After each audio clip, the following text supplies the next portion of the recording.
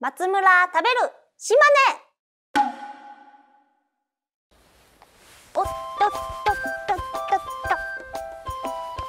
はいというわけでわらの新商品の候補の2個目松江にやってきました。イエーイ。見てください。こちらが松江城です。なんとこのお城たった5年で作ったらしいですよ。作れます？すごいね。じゃあ早速この松江城行きたいと思います。レッツゴー！松村さん松村さんお呼ばれた。ちょっと昨日も言ったんですけどあんま時間ないんでお。ちょっとあの食べに行きましょういいもつえ感じたいもつえ感じたい。ちょっと時間ないんで行きましょう。はーい。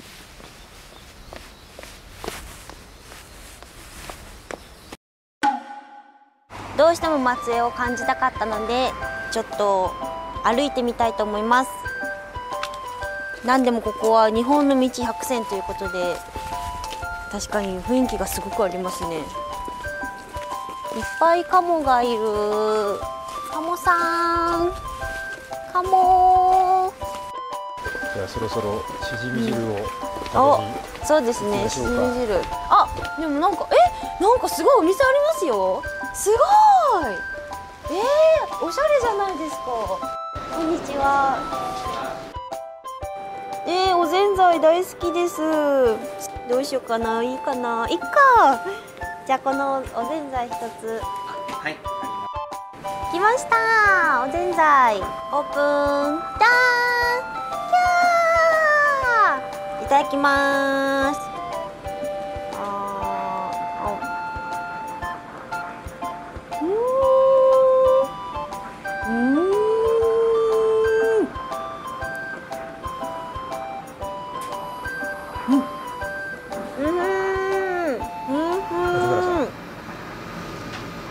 そろそろ行きましょうか。わかりました。しじみ食べたんで山市さんに到着しました。イエーイ。というわけで島根の郷土料理のしじみ汁いただきたいと思います。レッツゴー。チチチチ。ワクワク。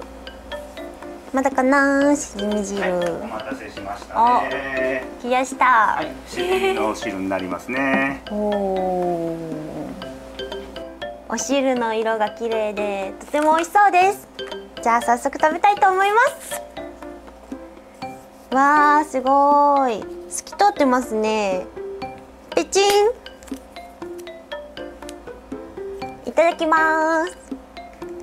ドキドキあーでもめっちゃええ匂い。うん？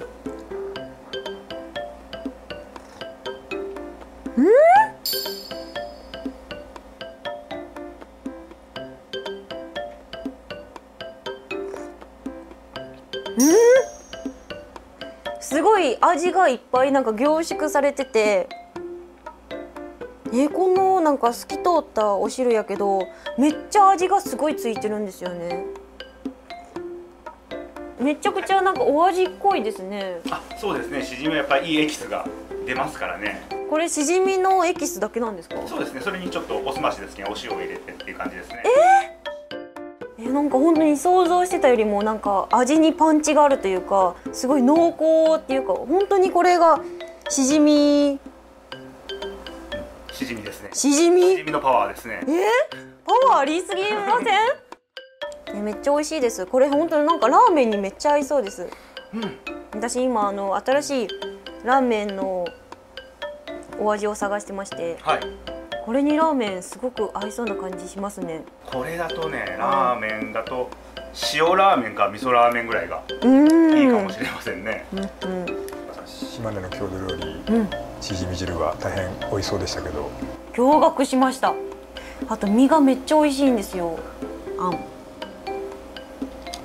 わらの新商品としてかなり候補の一つとしては、すごい有力かもしれません。これ絶対ラーメン本当私もラーメン入れたいですもんここに。あとあのおにぎり入れてくださいっていうのがあったじゃないですか。もうおにぎりめっちゃ入れたいです。ラーメンも入れたいしおにぎりも入れたいし。どっちも合うと思います。